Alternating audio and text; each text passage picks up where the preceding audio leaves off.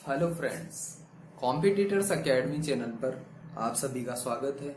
दोस्तों, आज की वीडियो में हम बात करने वाले हैं स्ट्रेंथ ऑफ़ मटेरियल के पहले और बेसिक से टॉपिक दोस्तों, जिसका नाम है प्रॉपर्टीज़ ऑफ़ मटेरियल तो यहाँ पे दोस्तों, हम मैकेनिकल प्रॉपर्टीज़ ऑफ़ मटेरियल की बात करेंगे। तो मैं यहाँ पे बता देता हूँ दोस्तों, हर एक बेसिक कोई भी मटेरियल हो दोस्तों वर्ल्ड में पाया जाता है, उसकी कुछ प्रॉपर्टीज़ होती है, कुछ मैकेनिकल प्रॉपर्टीज़ होती हैं तो वहाँ तो उनको जो है आज की वीडियो में मेंशन किया जाएगा। बट हम चूँकि सिविल इंजीनियर हैं और सिविल इंजीनियरिंग के पॉइंट ऑफ़ व्यू से, या यहाँ पे इस वीडियो को कोई मैकेनिकल इंजीनियर भी देखेगा तो उस के पॉइंट ऑफ़ व्यू से हम हर एक चीज़ जो है दोस्तों, आम तौर पर जो चीज़ें देखेंगे, इस पूरी जो सीरीज़ अभी शुरू हो रही है प्रॉपर्टीज़ ऑफ़ मटेरियल की दोस्तों, उसमें ये चूँकि पहला टॉपिक है तो हमें एक स्टील रोड बार को लेकर के जो है, उसके ऊपर एक टेंसाइल फोर्स जो है अप्लाई करके इसके अंदर होने वाली घटनाओं को देखेंगे और ये किस तरीके से ये रोड जो है रिएक्ट करती है। इसको हम जांचेंगे तो हमको समझ आएगा कि इसके अंदर कौन कौन सी प्रॉपर्टीज़ होती है। बिल्कुल जिस तरह से ह्यूमन प्रॉपर्टीज़ होती है, हम सब में अपनी अपनी कई तरीके की अलग अलग ह्यूमन से अलग अलग प्रॉपर्टीज़ होती है। वैसे ही अलग अलग मेटेरियल्स में अलग अलग तरीके की भी प्रॉपर्टीज़ होती है। जो हमारे स्ट्रेंथ ऑफ़ मेटेरियल में, हमारे काम जो आने वाला है सबसे ज़्यादा, वो कोई एक स्टील रोड की बार है दोस्तों। स्टील रोड की बार जो है, उसके ऊपर हम क्या है, इस तरीके से या तो टेंशन फोर्स जो है अप्लाई करते हैं, या फिर हम जो है कंप्रेशन फोर्स भी अप्लाई कर सकते हैं तो वो इस तरीके से प्रेशराइज कर देता है। अगर कंप्रेशन फोर्स लगाएँगे तो इस तरीके से किसी रोड के ऊपर लग जाएगा। हम आमतौर पे ये एग्जांपल लेकर के चलेंगे और हम जो डिफरेंट डिफरेंट प्रॉपर्टीज़ है दोस्तों मटेरियल की, उनको देखेंगे। तो दोस्तों स्ट्रेंथ ऑफ़ मटेरियल के इस वीडियो को शुरू करें, उससे पहले मैं आपको कहना चाहता हूँ कि अगर आपने हमारे कॉम्पिटिटर्स अकेडमी के टेलीग्राम चैनल और दोस्तों फेसबुक पेज इंस्टाग्राम पेज को नहीं ज्वाइन किया है तो लिंक डिस्क्रिप्शन बॉक्स में है। उनको फर्दर अपनी नॉलेज और एजुकेशनल पॉइंट ऑफ़ व्यू से हमारे साथ में जोड़ने के लिए ज्वाइन कर लीजिए। आपको जो है भविष्य में काफ़ी फ़ायदा होगा। ऑलरेडी हम दोस्तों सिविल इंजीनियरिंग को लेकर के काफ़ी सारी वीडियोज़ अभी तक बनाई है और सिविल इंजीनियरिंग में दोस्तों हमने किस तरह से स्ट्रेंथ ऑफ़ मटेरियल के सब्जेक्ट के कौन कौन से चैप्टर्स हैं और उनको किस बुक से पढ़ना है, हमने इस सबको मेंशन किया। और दोस्तों, सभी इंपॉर्टेंट बुक्स के लिंक इस वीडियो के डिस्क्रिप्शन बॉक्स में भी मिल जाएँगे।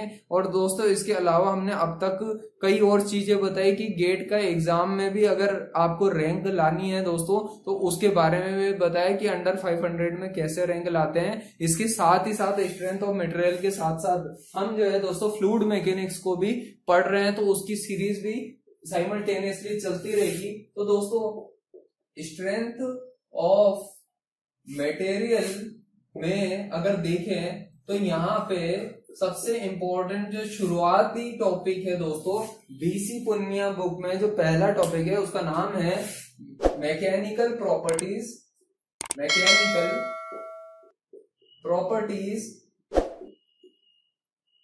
properties of material ठीक है? तो मटेरियल नाम से जो ये एक मैकेनिकल कुछ प्रॉपर्टीज़ होती है किसी भी मटेरियल की।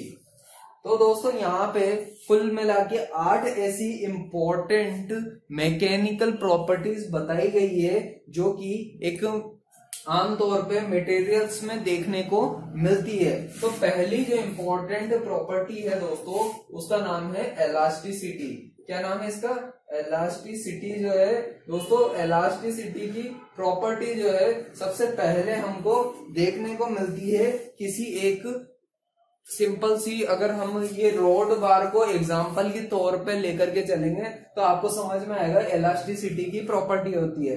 बाद में हम दोस्तों इसको एक एक प्रॉपर्टी को लेकर के वीडियोस बनाएँगे और उस वीडियो में हर एक प्रॉपर्टी को आपको समझाया जाएगा। तो इलास्टिसिटी की प्रॉपर्टी इस तरीके से है, इस वीडियो में एक आइडिया दे रहा हूँ आपको कि भाई इस मेटल रोड है, इसको जब आपने टेंशन क्रिएट किया है इसके ऊपर और पी फोर्स इसके ऊपर अप्लाई किया तो टेंशन फोर्स जब अप्लाई किया तो इसमें एक डिफॉर्मेशन आ जाता है दोस्तों। तो इसमें जो है, क्या आ जाता है? इसमें डिफॉर्मेशन आ जाता है। और वो डिफॉर्मेशन दोस्तों, इस लोड को, ये मेटल रोड है, ठीक है?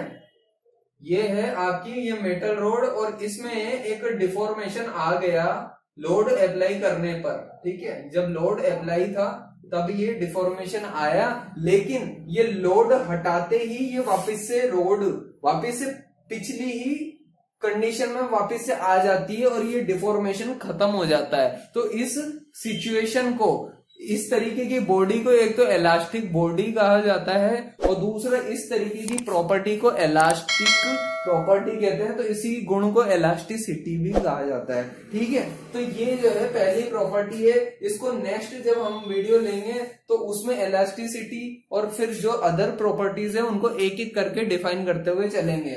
सेकेंड प्रॉपर्टी होती है प्लास्टिसिटी की। ठीक है? प्लास्टिसिटी जो है एक इंपॉर्टेंट कैरेक्टरिस्टिक्स होती है दोस्तों। इस मटेरियल में कोई भी मटेरियल हो, उसमें प्लास्टिसिटी भी होती है। जब कोई रोड है, उसको हमने टेंशन फोर्स उसके ऊपर क्रिएट किया तो टेंशन फोर्स अप्लाई करने के बाद में उसमें जो डिफॉर्मेशन आता है, अगर उस लोड को वापस से हटा दिया जाए दोस्तों, अगर ये लोड को वापस से हटा दिया जाता है तो लोड को हटा देने पे भी कुछ ना कुछ इसमें डिफॉर्मेशन बचा रह जाता है, हल्का सा बचा रह जाता है। तो ऐसे केस में ये बॉडी एक प्लास्टिक बॉडी कहलाती है। और दोस्तों, यहाँ पे जो प्रॉपर्टी होती है, वो प्लास्टिसिटी कहलाती है, ठीक है? तो प्लास्टिसिटी ये इस तरीके की प्रॉपर्टी हो जाती है उस मटेरियल की, ठीक है?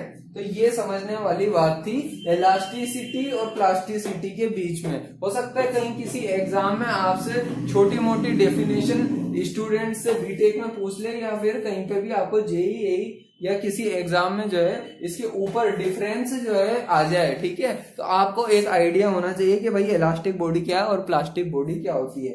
इसके अलावा जो थर्ड इंपॉर्टेंट प्रॉपर्टी होती है, किसी भी, दोस्तों, अगर देखा जाए यहाँ पे मेटेरियल में तो दोस्तों, उसका नाम है डक्टिलिटी डक्टिलिटी जो है दोस्तों, ये भी काफ़ी एक इम्पोर्टेंट प्रॉपर्टी होती है और आमतौर पे हम जो है दोस्तों, यहाँ पे जो मटेरियल यूज़ करते हैं, वो तो स्टील रोड को लेकर के अभी हम एग्जांपल देखते हुए चल रहे हैं दोस्तों। स्टील रोड है जिसके ऊपर पी लोड लगा हुआ है, इधर से इधर से, ठीक है? तो ये एक हम, एक आम तौर पे एग्जांपल अभी स्ट्रेंथ ऑफ़ मटेरियल में लेकर के चल रहे हैं। बाकी मटेरियल कोई दूसरा भी हो सकता है, जैसे कि कॉपर की रोड भी हो सकती है कास्ट आयरन भी हो सकता है एल्यूमिनियम भी हो सकता है, और भी कई तरीके के एग्जाम्पल्स हैं। जैसे कि दोस्तों स्टोन कंक्रीट भी हो सकता है। तो इन सब के अंदर भी दोस्तों कुछ ना कुछ गुण होता है। इलास्टिसिटी प्लास्टिसिटी का। तो दोस्तों, इसके बारे में जो है हम इंडिविजुअल जब इलास्टिसिटी प्लास्टिसिटी को पढ़ेंगे तो और अच्छे से समझ आएगा आपको। अब थर्ड जो प्रॉपर्टी है, अभी उसका नाम है डक्टिलिटी ठीक है? डक्टिलिटी डक्टिलिटी की प्रॉपर्टी जो है दोस्तों, ये भी काफ़ी एक इम्पोर्टेंट प्रॉपर्टी होती है किसी मटेरियल में, और वो ये होती है, इसका मतलब ये होता है कोई मटेरियल डक्टाइल मटेरियल तब होता है जब किसी मेटल को पे जो है, ये पी। जब लोड अप्लाई किया जाता है तो उसकी लेंथ जो होती है, वो लगातार बढ़ती जाती है, ठीक है? उसमें एक अच्छा लंबा जो है, एक डिफॉर्मेशन देखने को मिलता है, ठीक है? तो ये जो है डिफॉर्मेशन बढ़ता ही जाता है, जैसे जैसे लोड अप्लाई किया जाता है। और इसमें बहुत टाइम तक जो है, दोस्तों, इसकी आसानी से फेलियर नहीं हो पाती है, ठीक है? इस मटेरियल की आसानी से फेलियर नहीं हो पाती है। फेलियर का मतलब ये होता है कि ये मटेरियल बीच में से टूट नहीं जाता है, ठीक है? तो इसमें जो है, जब बहुत ज़्यादा प्लास्टिसिटी होती है किसी मटेरियल में, तभी उसमें जो है डक्टाइल प्रॉपर्टी भी बहुत ज़्यादा होती है और डक्टिलिटी बहुत ज़्यादा देखने को मिलती है उन मटेरियल्स में, ठीक है? तो इस प्रॉपर्टी को डक्टिलिटी कहा जाता है और इनमें जो होता है, दोस्तों, ये डिफॉर्मेशन बहुत लंबा होता है और माइल्ड स्टील जो है काफ़ी पॉपुलर मटेरियल है, जिसका हम जो है सिविल इंजीनियरिंग में यूज़ करते हैं। सिविल इंजीनियरिंग में माइल्ड स्टील की जो रोड बार्स होती है, उनके ऊपर हम जो है, उसका हम प्रॉपर एक स्ट्रेस और स्ट्रेन का कर्व भी बनाएँगे दोस्तों। स्ट्रेस वर्सेस स्ट्रेन का कर्व बनाएँगे। तो वहाँ पे आपको जो है, यहाँ पे पता चलेगा कि किस तरीके से जो है, एक स्ट्रेस वर्सेस स्ट्रेन का कर्व रिएक्ट करता है। जब उसके ऊपर कि जब किसी मेटल रोड मतलब अगर ये माइल्ड स्टील है और उसके ऊपर पी फोर्स लग रहा है अप्लाई हो रहा है तो किस तरीके से जो है स्ट्रेस वर्सेस स्ट्रेन कर्व जो होगा उसके ऊपर बनेगा। ठीक है? इसको अपन आगे वाली वीडियो आ, आगे आने वाली वीडियोस में देखेंगे। अभी यहाँ पे देखो आप जो नेक्स्ट डक्टिलिटी के अलावा प्रॉपर्टी है वो है ब्रिटलनेस फोर्थ नंबर की जो इम्पोर्टेंट प्रॉपर्टी है उसका नाम है ब्रिटलनेस ठीक है?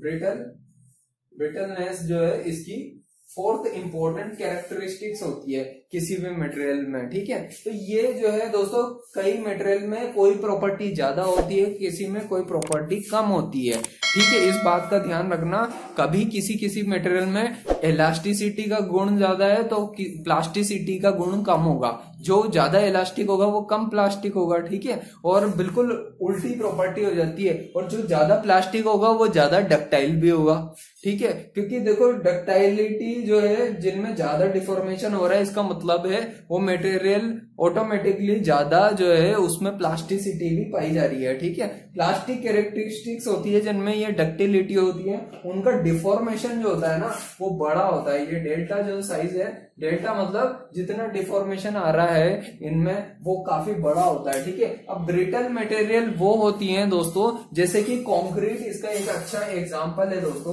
कंक्रीट जो होता है दोस्तों, जैसे ही एक सडनली कोई लोड अप्लाइड होता है। कंक्रीट का फॉर एग्जांपल ब्लॉक है और उस ब्लॉक के ऊपर अगर कोई लोड जो है अप्लाई होता है ऊपर नीचे से है तो दोस्तों ये बहुत तेज़ी से जो है कहीं ना कहीं से इसकी फेलियर हो जाती है और ये ब्रेक हो जाता है बहुत जल्दी। तो ये काफ़ी ब्रिटल मटेरियल होता है। इसी तरीके से किसी रोड बार को स्पेशली अगर हम देखें दोस्तों कास्ट आयरन की मान लो रोड हो। कास्ट आयरन की अगर मान लो जो प्रॉपर्टी होती है, वो इस तरीके की होती है कि इसमें बहुत कम डक्टिलिटी होती है। तो ये जैसे ही इसके ऊपर पुश किया जाता है, दोस्तों पुश नहीं पुल किया जाता है, इसके ऊपर लोड इस तरह से अप्लाई किया जाता है, खींचा जाता है तो ये बहुत तेज़ी से ये बीच में से फेल हो जाती है। तो इसका मतलब है कि इसमें जो है, बहुत कम क्षमता होती है देर तक डिफॉर्मेशन स्ट्रेस को लेने की। ठीक है? तो इनके कर्व जो है हमें एक एक करके सिग्मा वर्सेस एप्सिलॉन के कर्व नेक्स्ट वीडियोस में देखेंगे। और एक एक करके इन सब प्रॉपर्टीज़ को भी हम डिटेल में पढ़ते हुए भी जाएँगे, ठीक है? और इनकी डेफिनेशंस भी देखेंगे और डेफिनेशंस को लिखेंगे भी सही, ठीक है? और नोट डाउन कराऊँगा मैं आपको सभी प्रॉपर्टीज़ की डेफिनेशन को। अभी मैं आपको जो है एक बेसिक इंट्रोडक्शन दे रहा हूँ कि किस तरह से ये अब तक चार प्रॉपर्टीज़ रही। अब मैं चार और इम्पोर्टेंट प्रॉपर्टीज़ के बारे में जो है आपको मेंशन करूँगा, जो कि किसी भी मटेरियल की प्रॉपर्टीज़ होती हैं, ठीक है? तो अब तक चार जो प्रॉपर्टीज़ पढ़ी, पहली थी हमारी एलास्टिसिटी दूसरी थी हमारी प्लास्टिसिटी तीसरी थी डक्टिलिटी और चौथी जो प्रॉपर्टी थी, वो थी ब्रिटलनेस ठीक है? अब देखो, जो फिफ्थ इंपॉर्टेंट प्रॉपर्टी है, वो है दोस्तों मेलिएबिलिटी ठीक है? फिफ्थ नंबर पे अगर हम इंपॉर्टेंट प्रॉपर्टी की बात कर रहे हैं तो ये मेलिए मेलिएबिलिटी जो है, एक प्रॉपर्टी होती है। मैं इसकी स्पेलिंग चेक कर लेता हूँ एक बार को। देखो, यहाँ पे एम ए डब्ल्यू एल है हाँ तो दोस्तों, इसकी स्पेलिंग जो है M A double L E A होता है। मेलिएबिलिटी ये जो है M A double L E A B I L I T Y malleability जो है, एक और कैरेक्टरिस्टिक होती है दोस्तों, जो कि किसी मटेरियल की प्रॉपर्टी होती है, और ये प्रॉपर्टी आमतौर पे जो मटेरियल बहुत ज़्यादा डक्टाइल होते हैं, उन्हीं में पाई जाती है मटेरियल मेलिएबिलिटी का भी गुण। इसमें होता ही है दोस्तों, कोई मान लो मटेरियल है उसको बहुत ज़्यादा ऊपर से नीचे से कंप्रेस किया जाता है तो इसमें डिफॉर्मेशन चलता ही रहता है, चलता ही रहता है, और काफ़ी ये बिल्कुल थिन साइज़ की प्लेट में कन्वर्ट हो जाता है फिर ये। इस तरीके से थिन साइज़ में मटेरियल होता है। थिन साइज़ में जब कन्वर्ट हो जाता है थिन प्लेट बन जाता है, बिल्कुल प्लेट साइज़ की फॉर्म में आ जाता है। कंप्रेशन के बाद में तो ये जो डिफॉर्मेशन हो गया बहुत लंबा तो ये बिल्कुल पतली सी प्लेट की फॉर्म में कन्वर्ट हो जाता है। ऐसी टेंडेंसी जब जिस किसी मटेरियल की होती है तो उसको बोलते हैं मेलिएबल मटेरियल यही प्रॉपर्टी मेलिएबिलिटी होती है। जब हम डेफिनेशन पढ़ेंगे इसकी अच्छे से तो और ज़्यादा गहराई से आपको चीज़ें समझ आ जाएगी। तो इसके अलावा दोस्तों अगर देखें तो सिक्स नंबर की जो है इंपॉर्टेंट प्रॉपर्टी है, वो है toughness T O U G A toughness ठीक है? तो टफनेस जो होती है एनर्जी स्टोर करने से रिलेटेड प्रॉपर्टी है दोस्तों. किसी मान लो फॉर एग्जांपल के तौर पे कोई बॉल होती है. बॉल जो है, उसको जितनी बार जो है बल्ले से मारा जाता है तो वो बॉल पिटती तो रहती है, लेकिन इसके अंदर जो है, इस में जो है एनर्जी स्टोर होती रहती है। क्या होती रहती है? एनर्जी जो होती है, वो स्टोर होती रहती है और अल्टीमेटली ये एनर्जी जब स्टोर होती है तो उससे एक टाइम आता है जब वो बॉल भी फट जाती है, ठीक है? टूट जाती है, अलग हो जाती है। तो ये जो जितनी ज़्यादा बॉल की झेलने की क्षमता होती है, उसकी टफनेस को बताती है। वही प्रॉपर्टी जो है, उसकी टफनेस को बताती है। तो इसी तरीके से टफनेस की प्रॉपर्टी अलग अलग मटेरियल में भी पाई जाती है। तो वो मटेरियल मटेरियल जो है, उतना ज़्यादा जिसमें स्ट्रेन एनर्जी जो होती है एनर्जी को स्टोर करने की जो क्षमता होती है, बहुत ज़्यादा होती है। क्या होता है? स्ट्रेन एनर्जी को अगर देखें तो स्ट्रेन एनर्जी है जब जब किसी किसी मटेरियल के ऊपर जो है बार बार प्रहार किया जाता है, उसको पीटा जाता है और उसके बाद भी वो वैसी की वैसी ही खड़ी रहती है तो उसके अंदर जो स्ट्रेन एनर्जी है उसकी जो है स्टोर करने की एनर्जी जो होती है स्टोर करने की भी कह सकते हो उसने कितने स्टोर किया एनर्जी को। अगर वो बहुत ज़्यादा होती है तो वो चीज़ जो है दोस्तों टफनेस को रिप्रेजेंट करती है। तो ये प्रॉपर्टीज़ टफनेस कहलाती है उस मटेरियल की ठीक है? अब इसके अलावा जो लास्ट आ, कुछ प्रॉपर्टी बची है वो है एक तो है हार्डनेस दोस्तों। तो सेवंथ नंबर की जो इंपॉर्टेंट प्रॉपर्टी यहाँ पे है, उसका नाम है दोस्तों हार्डनेस तो ये प्रॉपर्टी जो है दोस्तों, ये प्रॉपर्टी हार्डनेस की आमतौर पे आपको कहाँ पे ज़्यादा देखने को मिलती है। तो पत्थर वत्थर जो होते हैं दोस्तों, आपने देखा होगा एग्रीगेट्स होती हैं, उनमें जो है हार्डनेस की कैरेक्टरिस्टिक बहुत इंपॉर्टेंट होती है। क्योंकि दोस्तों, हम रोड पर व्हीकल चलाते हैं तो उस वक्त पे उस जो एग्रीगेट्स होती हैं रोड के अंदर में रोड एग्रीगेट से ही बना होता है तो उनमें बहुत कैपेबिलिटी होनी चाहिए कि वो कितने ही ज़्यादा से ज़्यादा हेवी वेट लोड भी हो, उसको रजिस्ट कर ले। तो उसके अंदर जो है ना, कुछ ऐसी प्रॉपर्टीज़ होती है दोस्तों हार्डनेस की, जिसमें वो, इसको कहा जाता है दोस्तों hardness is the ability of a material to resist indentation और सरफेस एब्रेशन ठीक है? किसी सरफेस कोई सरफेस हो दोस्तों, कोई सरफेस हो, उस पर स्क्रैच स्क्रैच आ जाए। स्क्रैच आने नहीं दे तो फिर। अगर मान लो कोई व्हीकल गुजर रहा है, इसके ऊपर से तो दोस्तों, ये इस सड़क के ऊपर स्क्रैच आने नहीं दे। ऐसी प्रॉपर्टी होती है, उसी को कहते हैं हार्डनेस एक्चुअली ये इसी तरीके से कि hardness is the ability to resist indentation and surface abrasion तो सरफेस के ऊपर जो टूट फूट होती है तो उसको रेजिस्ट करने की property resistance resistance against against abrasion abrasion जो होता है दोस्तों रेजिस्टेंस अगेंस्ट एबरेशन को ही कहा जाता है हार्डनेस ये सेवंथ नंबर की हमारी प्रॉपर्टी थी हार्डनेस की, ठीक है?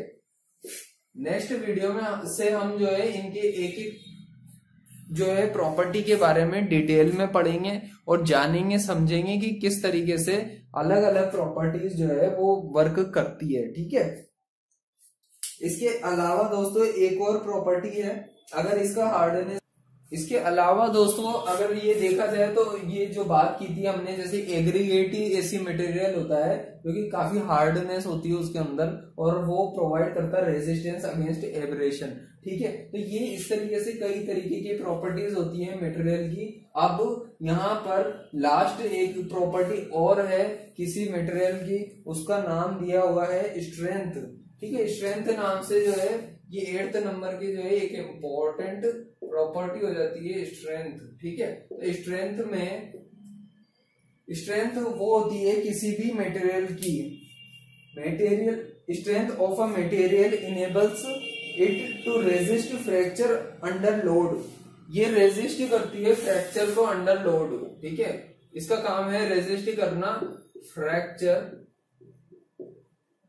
अंडर लोड ठीक है? अगर कहीं किसी मटेरियल के ऊपर, अगर किसी मटेरियल के ऊपर आपने लोड अप्लाई किया और उसकी वजह से जो फ्रैक्चर का फिनोमिना देखने को मिलता है। फ्रैक्चर फटीक आ रही है, ठीक है? फेलियर होने वाली है। तो इस फेलियर के अगेंस्ट जो रेजिस्टेंस शो किया जाता है मटेरियल के द्वारा, उस प्रॉपर्टी को कहा जाता है स्ट्रेंथ उसकी, ठीक है?